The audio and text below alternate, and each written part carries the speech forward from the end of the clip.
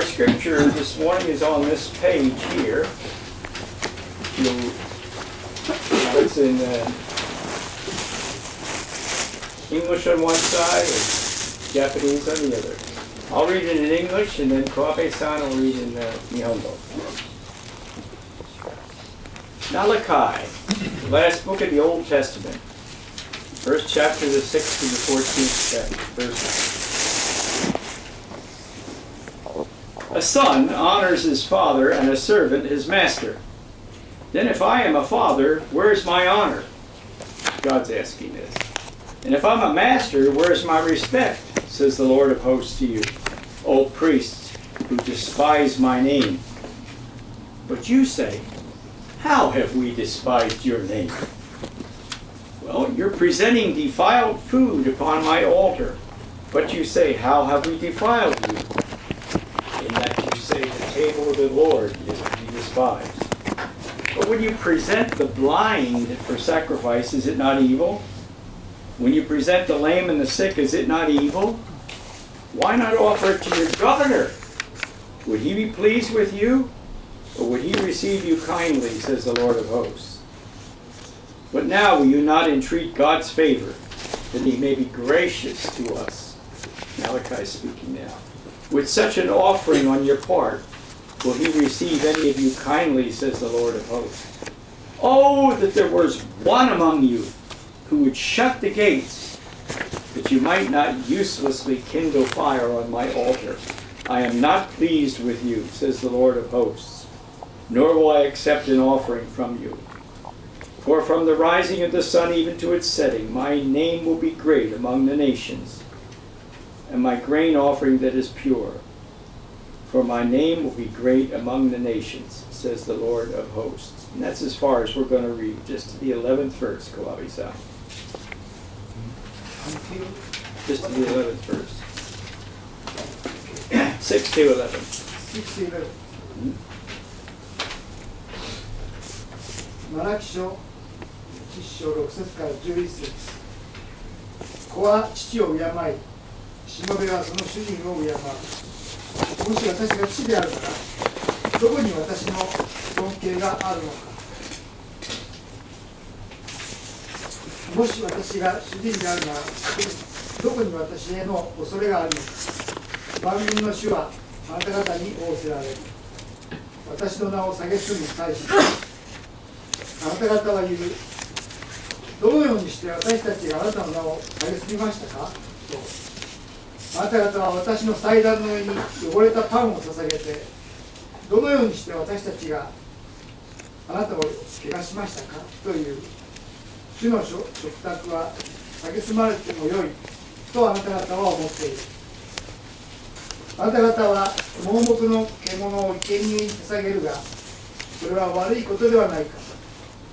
足の苗えたものや病気のものを捧げるのは悪いことではないか。さああなたの相続のところにそれを差し出してみよう。彼はあなたを意にしあなたを受け入れるだろうか。バンドの主は仰せられる。さあ今恵みを受けるために神に願ってみよう。これはあなた方の手によることだ。神はあなた方のうちに誰かを受け入れてくださるだろうか。万民の主は仰せられる。あなた方のうちにさえあなた方が私の祭壇にいたずらに火を転ずることがないように戸を閉じる人は誰かいないのか。私はあなた方を喜ばない。番組の主を仰せられる。私はあなた方の手からの捧げ物を受け入れない。日の出るところからその沈むところまで私の名は諸国の民の間で崇められすべての場所で私の名のために清い捧げ物が捧げられ法がたかれる。私の名が諸国の民の間で崇められているからだ。万軍の主は仰せられる。アメン。And Sensei joins me?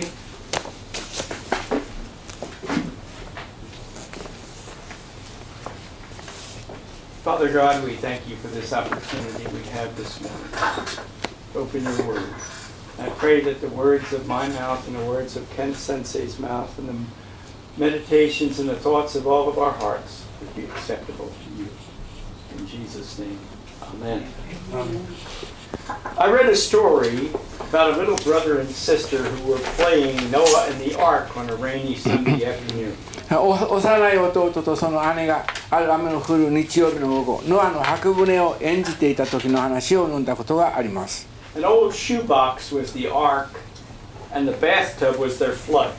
古い靴箱を箱舟としてまた浴槽を洪水に見立てていました。さて洪水が去ると彼らは神様への捧げ物をすることをにしました。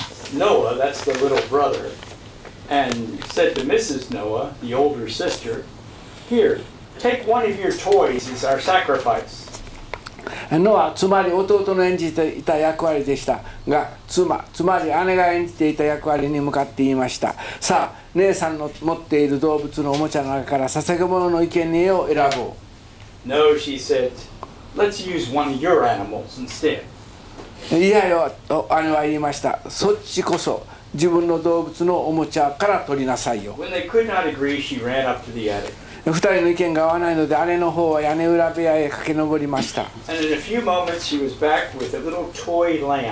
しばらくしておもちゃの子羊を持って降りてきました。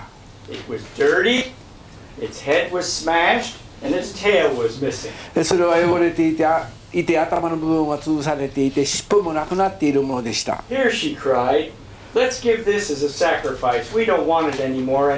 ほら、と姉は言いました、これを捧げ物にしましょうよ。どっちみち私たちにはもうこんな汚れたおもちゃはいらないのだから。弟はそれに賛成して二人はそれを捧げ物としました。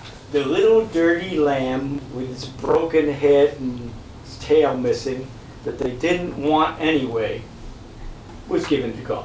えあの汚れて壊れ頭は潰され尻尾もなくなっている子羊のおもちゃ 姉と弟にとって何の価値もなくもういらなくなったおもちゃが神様に捧げられたのでした.さて場面を天国へ移してみましょう神様はご自分の作られた地上を上からご覧になっておられました。人々はそれほどの悪い良くない弱い存在であるかをご覧になっていました。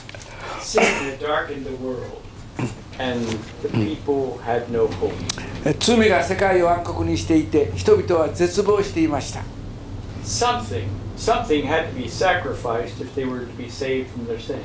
人々をその罪から救い出すためには生贄として何かが捧げられる 必要がありました。神様には多くの天使が天の軍勢として使えておりそれらを助けてとして送ることも可能でしたが神様はそんなことは毛頭も考えておられませんでした。神様が選ばれたのはそれ以外のものでした。ご自分のベストなものを選ばれたのでした。Why did God choose the very best He had to pay the penalty for our wickedness, our weakness, and our sin? なぜ神様は我々の悪と弱さと罪のを代価としてご自分の持っておられるものの中からベストなものをお選びになったのでしょ Well, the scriptures tell us why. Listen as we read it. う聖書はその理由を教えていますなぜ神様がそうされたのか読んでいきますお聞きください God so loved the world that He gave His only begotten Son, that whoever believes in Him shall not perish, but have everlasting life. 神はその独り子を与えになったほどに用愛された独り子を信じる者が一人も滅びないで永遠の命を得るためである Now, I want you to observe how Malachi, in his prophecy, set these two things the love of God and the disgraceful worship of God by man. He set these two, his crea- his, side by side. そこでマレマラキ書から預言者としてマラキがどのように神様の愛と人間による冒涜的な礼拝と並列して示されているかを見ていただきたいのです So notice in verse 2 that his prophecy opens with the declaration, I have loved you, says the Lord. 注目していただきたいのはマラキが第二節にこのようにしてその言葉を始めていることです私はあなたたちを愛してきたと主は言われる But then as you look in the next section, verses 6 through 8, as he, he accuses the people of dishonoring him with inferior and graceful worship, uh, disgraceful worship.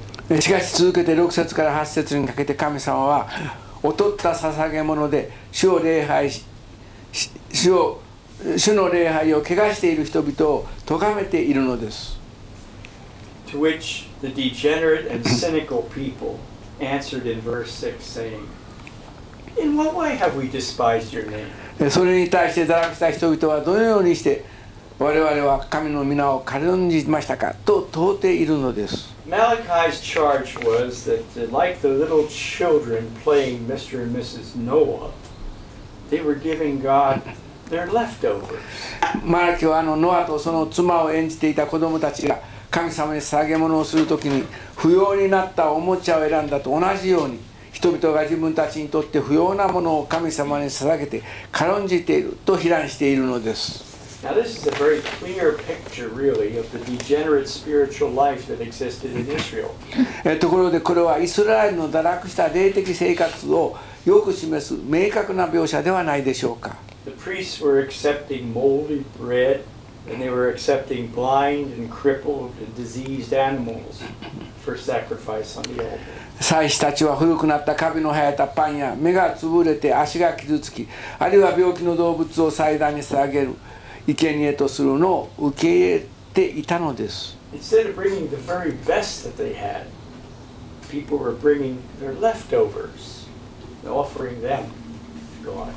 自分たちにとって最上なものを捧げる代わりに人々は残り物不要なものを神様に捧げていたのでした。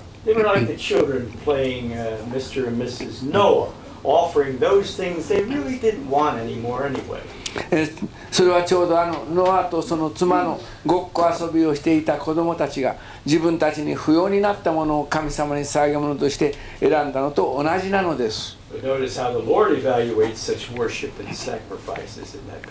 この聖書箇所で主なる神様がそうした人々の礼拝や意見をどのように評価していたかに注目してください。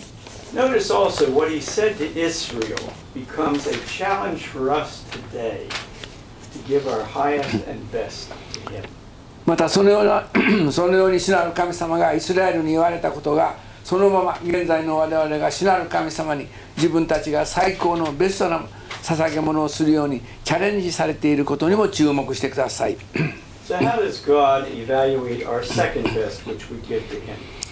それでは我々が神様に対して自分たちの最上のものではない劣ったセカンドベスト、第2の祭事を捧げるとき、神様はどのようにそれを評価されているのでしょうか？Well,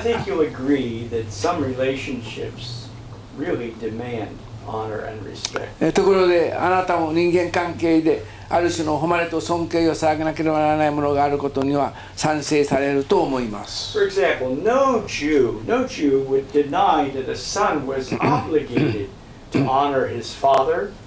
A servant his master, and a citizen his king.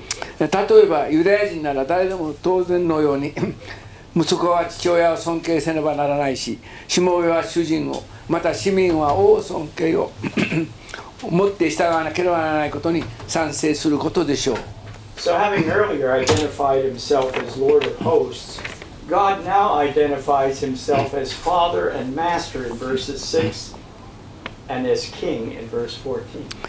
それで ご自分のご自分を万軍の主であると言明された主なる神が6節でご自分を父と父及び主人と呼びまた14節ではご自分を王と呼んでいるのです。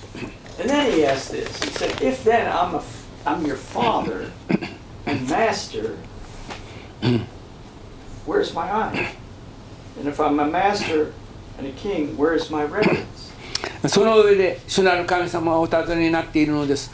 もし私が父であるならどこに私の名誉があるのか。そしてもし私が主人であるならどこに私に対する畏敬の念があるのかと。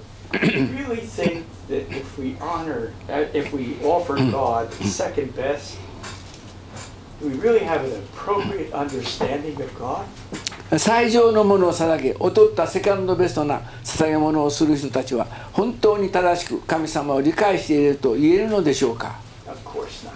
もちろんのこと答えはノーです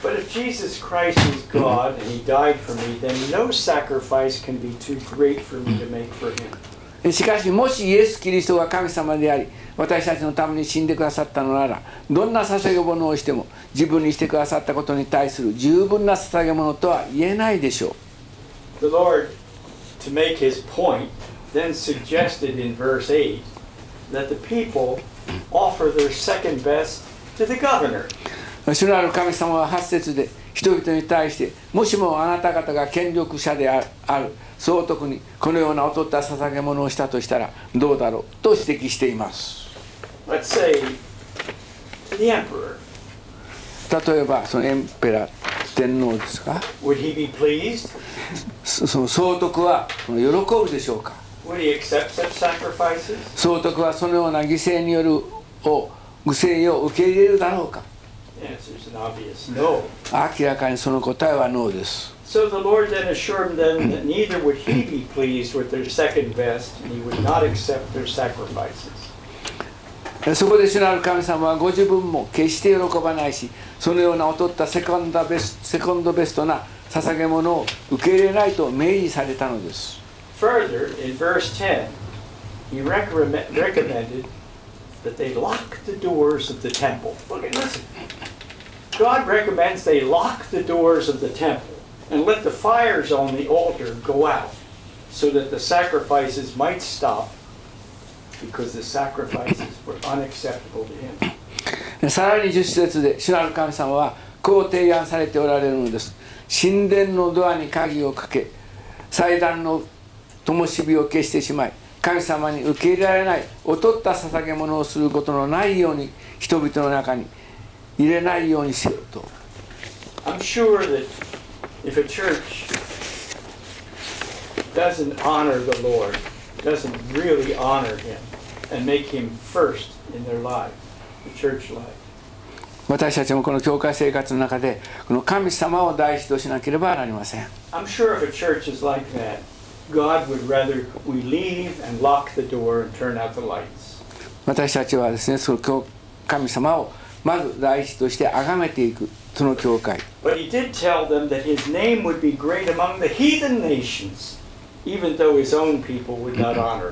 続けて、主なる神様はご自分の皆は異教徒の四国の間で崇められているで,いるであろう。たとえご自分のためであるイスラエルがで崇められていなくても、世界中どこでもご自分の皆は崇められ、立てまつると言われているのです。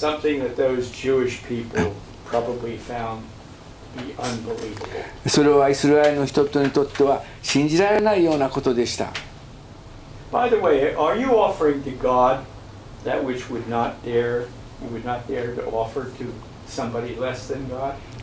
ところであなたはどうでしょう？自分よりも低い部分のものにさえ与えないようなものを神様に捧げても良いのでしょうか？どうでしょうか？Are you offering to God that which even a pagan would not offer to their God? 異教徒たちがそれぞれの神,が神様に捧げないような劣った捧げ物をあなたは死なる神様に捧げてもよいのでしょうか？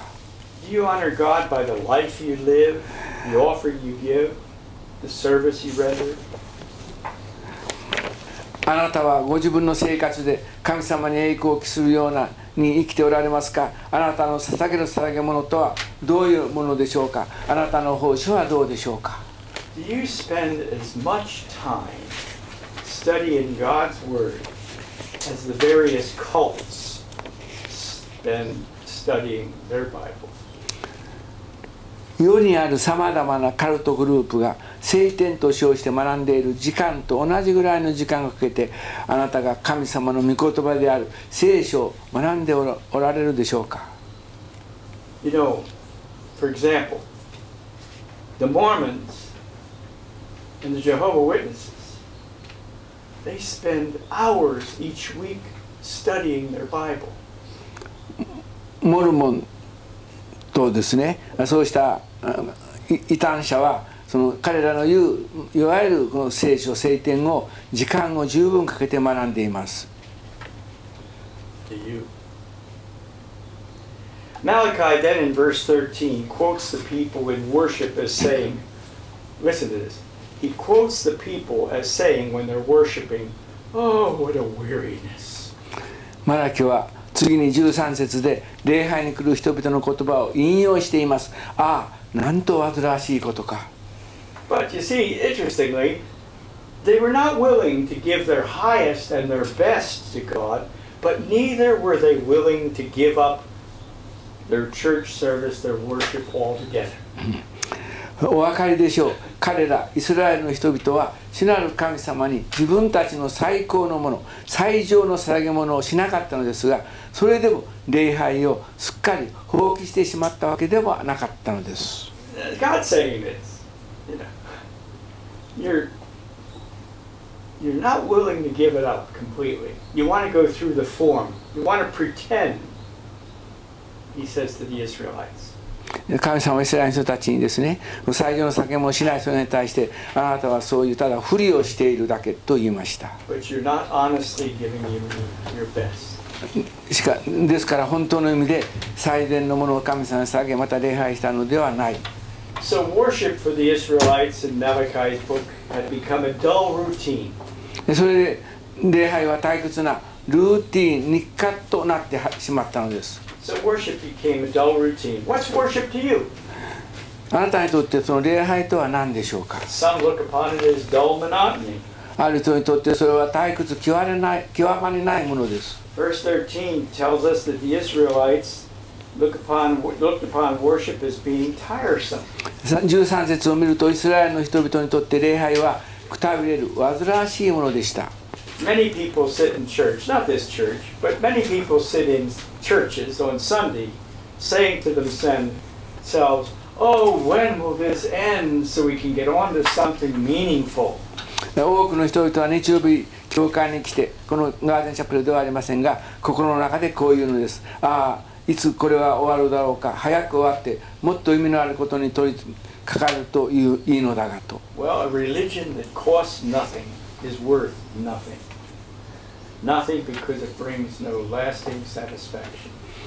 さて何の犠牲も伴わない宗教などは何の価値もないのですなぜならそれによって満足は得られないからです I read of an inscription found on the tombstone of a soldier who had sold all of his possessions for the royalist cause in England, and he had met his death on the battlefield.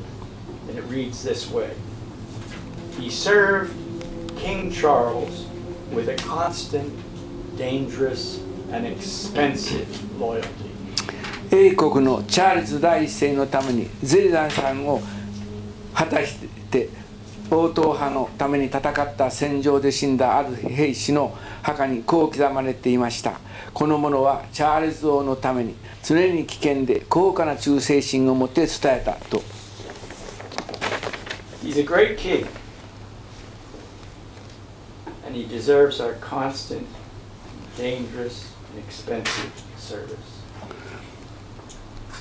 主なる神様は偉大なる王でありその主なる神様に対して我々は常に危険で高価な忠誠心を持って使えるにふさわしいお方なのです。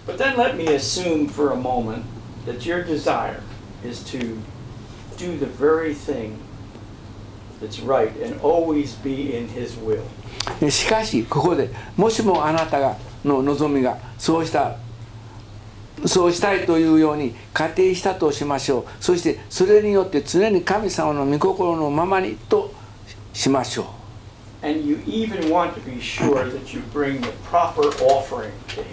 またあなたが神様にふさわしい捧げ物も捧げたいと願っているとしましょう。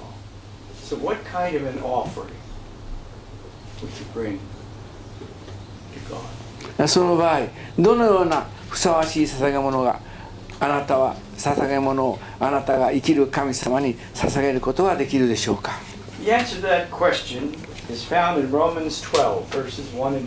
その答えはローマ書12章1節と2節にあります。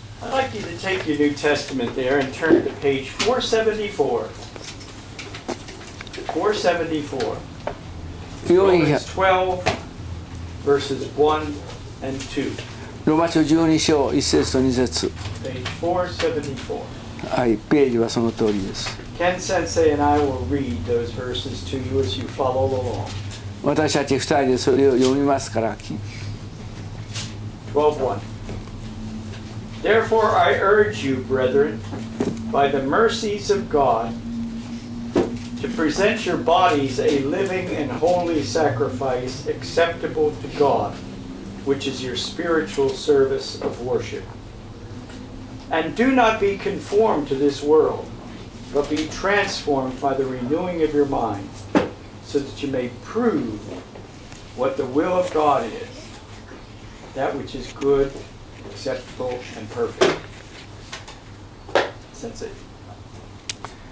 こういうわけで兄弟たち神の憐れみによってあなた方に進めます。自分の体を神に喜ばれる聖なる生ける生贄として捧げなさい。これこそあなた方のなすべき礼拝です。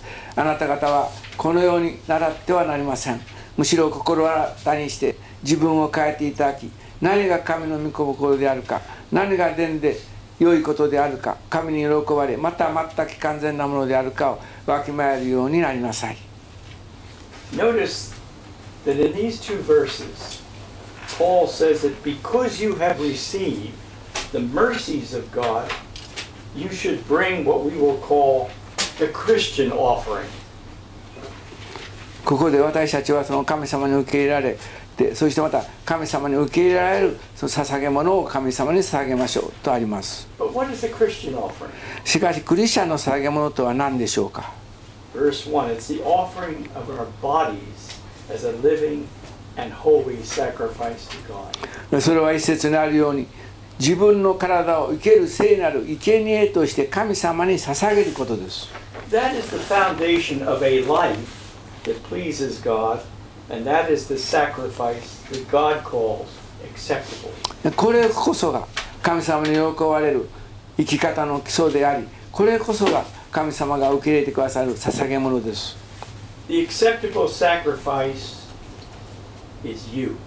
神様に喜んで受け入れられる捧げ物とはあなた自身です。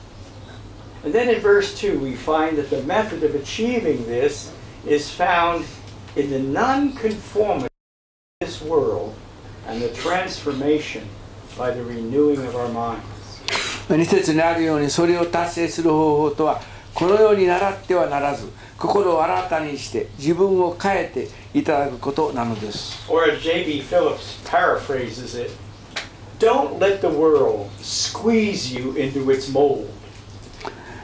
あるいはかの JP フリップスがそれをこう言い換えていますこの世のものがあなた方を締め付け縛り上げて自分たちの思うままに作り上げるのを許してはならない In our language of today, not being conformed to this world, but being transformed, is don't let the world squeeze you into what it wants you to be. ここでですねこの世のものがあなた方を縛りつ締め付け締め上げて自分たちの思うままに作り上げるのを許してはならないとあります You see, when we come to the kingdom of God, we should abandon the thought styles and the lifestyles of the world. お分かりでしょう。神様の御国に入る時には我々はこの世のライフスタイルや思考パターンなどを全て捨て去らなければならないのです。Listen to me. お聞 As a き believer, you're not of the world any more than Christ is of the world. お聞きください。信者の一人としてのあなたはキリストがこの世におられた時以上にこの世に属するものであってはならないのです。このように習ってはなりません You see, イエス様はもう今この世にはいらっしゃらないのはご存知の通り。それは私たちによって。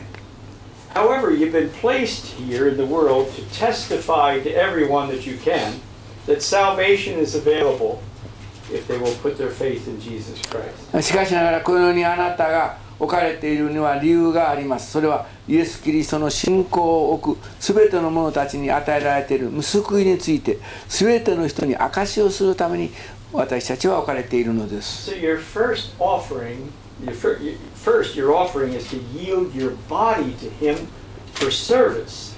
それであなたが捧げるべき生贄とはまず第一にあなたの体を主に使えるために差し出すことです Then, second, in verse 2, your offering, that is your body, your person, should be a separated life. By that I mean a life not conformed to this world.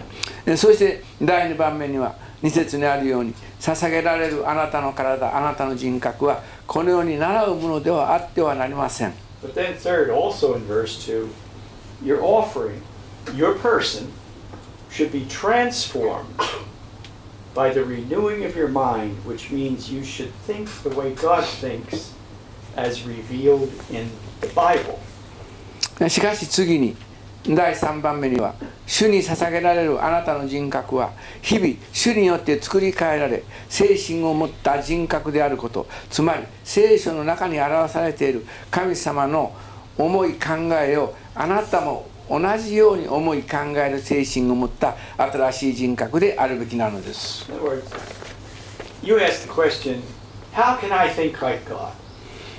それはどういうものでしょうか？それ,は聖書を読んでください聖書の中にその答えがあるからです。So, summing up.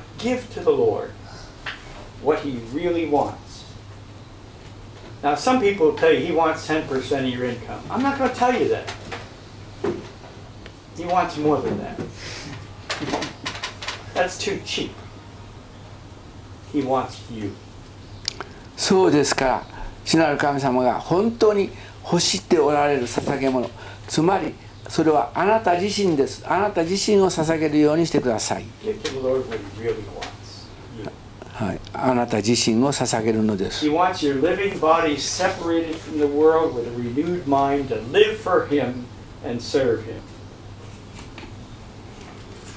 主なる神様はあなたの生き生きている体この世から性別され日々その精神が作り変えられ新しくされ主なる神様のために生き主なる神様のために使えることを望んでおられるのです the Lord wants to use you. 言い換えれば主なる神様はあなたを用いたいと望んでおられるのです Others, friends, bosses, family, many people have already used you. これまで他の人たちは友人であれ上司であれ家族であれ多くの人々がこれまであなたを利用して用いてきました。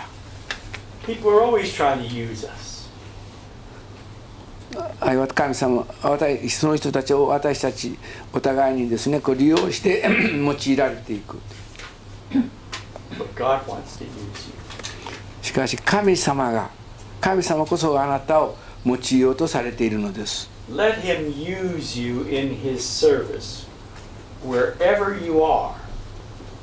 As a businessman, a business person, as a father,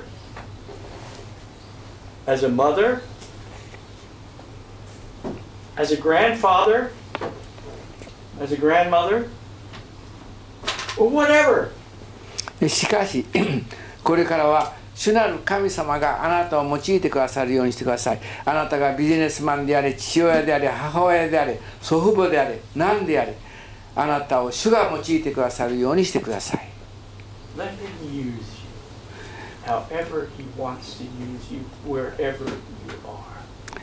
あなたがど何であってどのような人であっても神様があなたを用いてくださるように。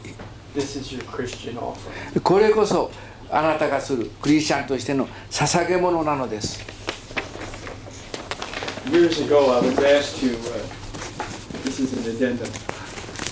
I was asked to offer the offering prayer to a group. It was a, I forget the name of the organization, but it was a Christian organization and uh, the offering was about to be taken. We were actually using TBCs, it was full. And I looked at these people, mostly businessmen. I said, you have a May sheet, take your May sheet out. They took the May sheets out, they were all holding them. I said, now, if you want to give what God wants, He wants you to tear your May sheet in half and put it in the offering plate.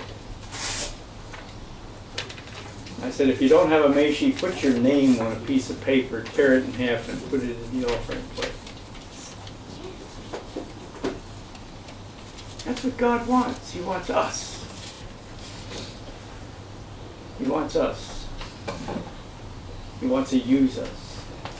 I can tell you it's a privilege and a joy to be used by God. Wherever you are. You probably will never stand in front of a people preaching. You may. You'll probably never go to Vanuatu as a missionary or Nigeria as a missionary, but you may. But wherever you are, let God use you. That's what He wants. That's what the people that are talked about in Malachi weren't willing to give him. They wouldn't give him the very best. The best you can give him is yourself. Let's pray.